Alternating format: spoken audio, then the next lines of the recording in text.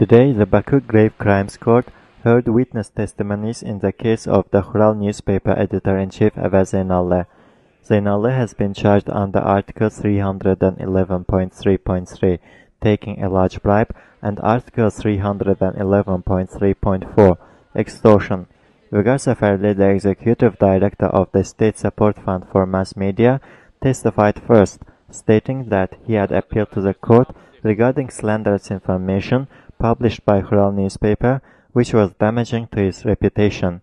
He said that Zeynalli has failed to execute the court decision which required the newspaper to issue a retraction and pay Safarli 5,000 manats in compensation. Zeynalli stated that he had repeatedly appealed to Vugar Safarli through his lawyer in order to seek and publish his view but received no response.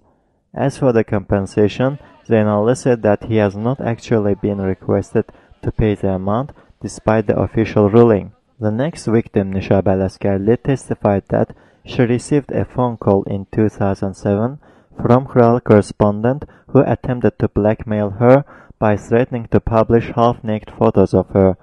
She added that she was insulted for several times in the newspaper. In response, Avaz Zeynalli advised Alasgarli to appeal to the relevant bodies in order to find out who had phoned and threatened her back in 2007.